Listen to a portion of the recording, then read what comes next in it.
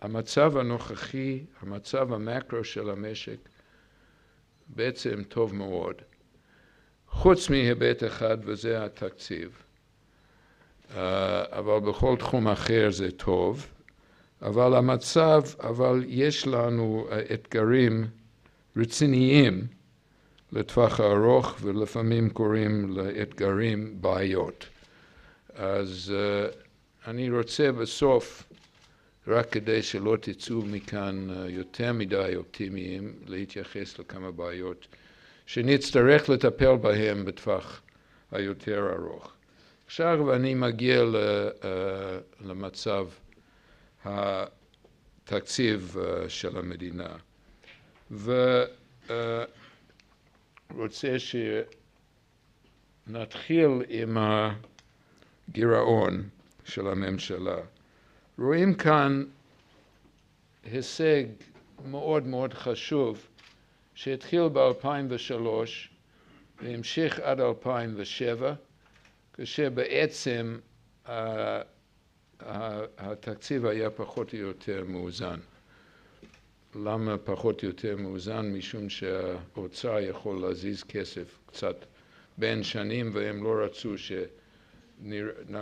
שנחשוב שאנחנו במצב יותר מדי טוב, זאת אומרת לגמרי מאוזן. אבל אה, זה מה שקרה. זה תוצאה של אה, התוכנית המאוד אמיצה ומאוד נחושה ששר האוצר דאז בנימין נתניהו אה, גיבש עם תמיכה מלאה מראש הממשלה וזה גרם לירידה מהירה בגירעון של הממשלה. אז הגיע המשבר הגדול, היה לנו ב-2008 בעצם כבר שיעור הצמיחה בעולמי התחיל לרדת, התחיל לרדת כבר ב-2008, בסוף 2008 בספטמבר קרה לימן בראדרס ונכנסנו, העולם נכנס למיתון הגדול וב-2009 חזרנו לרמת גירעון מאוד קרוב לזה. וזה היה תוצאה של הירידה בשיעור הצמיחה של המשק וזה היה צפוי. קיוו אז שאחרי המיתון בארץ, זה לא היה אחרי המיתון בעולם, נעשה משהו עם צורה מאוד דומה, דומה למה שקרה כאן. אז התחלנו טוב, משם לשם, מאוד דומה למה שקרה משם לשם. אבל ב-2011 זה כבר הפך להיות יותר קשה, ב-2012 הרבה יותר קשה. אז אנחנו רחוק עכשיו מהמסלול שקיווינו שנוכל uh, uh, להגיע אליו, uh, ושם זה היה אמור להיות שני אחוז ל-2012, וזה היה פי שתיים הגירעון שם. אז יש כל מיני ויכוחים, מי אחראי? טוב, מי אחראי לגירעון? בעיקר המשק. משום שזה צמח uh, יותר uh, איטי ממה שהיה צפוי. Uh, מעבר לזה, um, היה בתחילת 2011 גם האוצר, האוצר היה להם תחזית לכמה כמה מיסים הם יקבלו, זה היה מאוד אופטימי בדיעבד. אנחנו לא חשבנו, אנחנו בנק ישראל, לא חשבנו בתחילת 2011 שזה היה מוגזם, זה רק בדיעבד שאנחנו יודעים שזה היה מוגזם ויש סיבות לזה. מעבר לזה, היה ב-2012 ירידה בשיעור הצמיחה, ב-2011 זה היה 4.6 נדמה לי, הצמיחה כאן זה היה קרוב לשלושה אחוז, הצמיחה היותר איטית תרם לזה גם, והיה לפעם ראשונה בהמון שנים הממשלה הוציאה יותר כסף ממה שהיא תכננה לעשות. אז כל הדברים האלו גרמו לגירעון מאוד גדולה. עכשיו אני רוצה להסביר למה זה גירעון מסוכן. אם נחזור, לא נחזור לשם, אבל אם נחשוב על שיעור האבטלה, אנחנו מאוד קרובים לתעסוקה מלאה.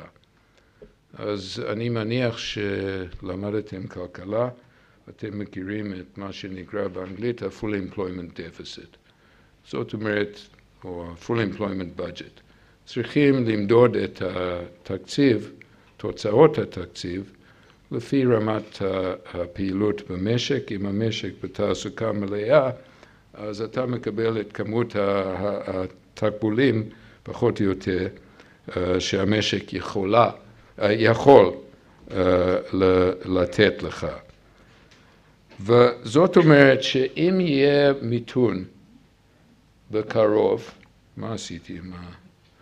אה, אם יהיה מיתון, אז נתחיל מגירעון של 4.2 ורואים מה המיתון עשה כאן.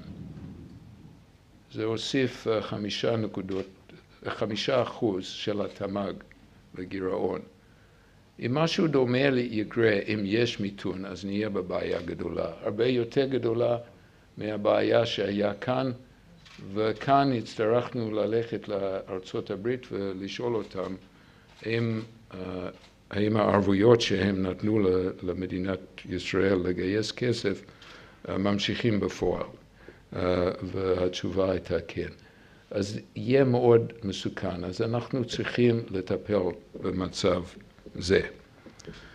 מעבר לזה, היה לנו את התקציב הדו-שנתי, ואחרי uh, שבדקו את הנתונים וכל ההתחייבויות שהממשלה לקחה על עצמה עד אלפיים, uh, בשנתיים האחרונות, כשהתחלנו לבדוק את התקציב ל-2013, גילינו שהיה עלייה בהתחייבויות של הממשלה של עשרה אחוז ריאלי ביחס למה שקרה ב-2012. אז עלייה של עשרה אחוז ריאלי בהוצאות הממשלה זה עלייה מאוד מאוד גבוהה במשק שצומח בשלושה אחוז. זה בעיה גדולה.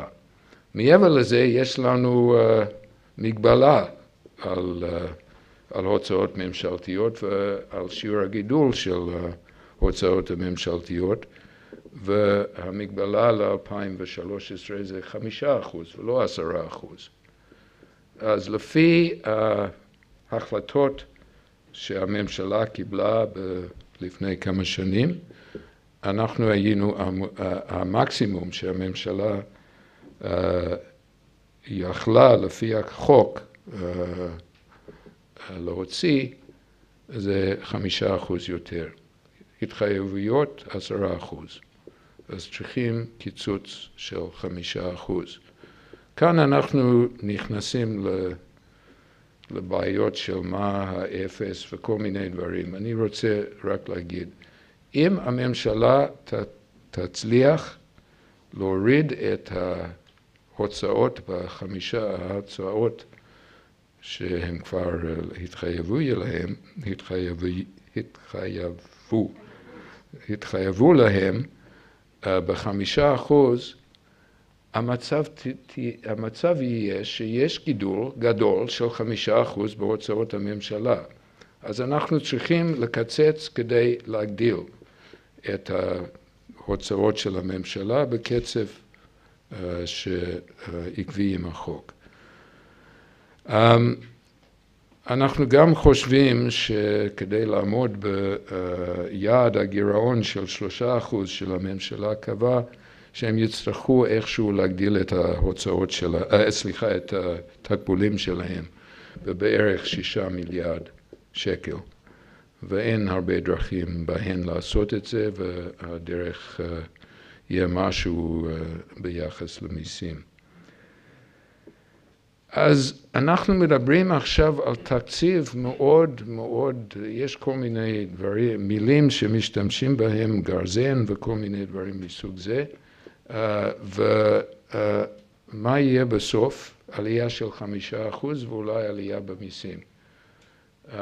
בעצם, לפי איך שכותבים בספרים, זה יהיה תקציב שבגבול מרסן שבערך לא יתרום הרבה או זה, זה לא ייתן דחיפה לצמיחה, משום שיש שם חמישה אחוז עלייה בהוצאות וירידה של, ושישה מיליארד.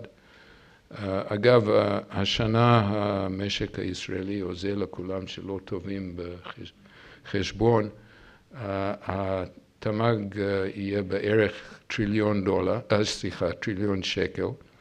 אז מי שרוצה לדעת איזה אחוז של התמ"ג, שישה מיליארד, אז זה אפס שישה, אפס שש.